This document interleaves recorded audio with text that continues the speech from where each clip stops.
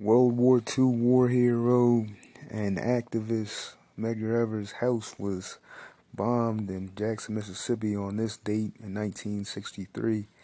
His wife and his children survived. Two weeks later, Medgar Evers was gunned down. He was survived by his family. Rest in peace to Medgar Evers. The late, great El Haj Malik El Shabazz and his family, along with Muhammad Ali. Today is Betty Shabazz's birthday. Her six girls that she had with El Haj Malik El Shabazz, her husband,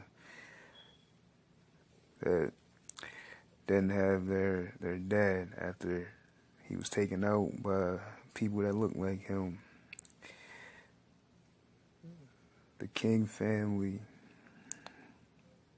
their house was also bombed in Alabama before Dr. King was assassinated.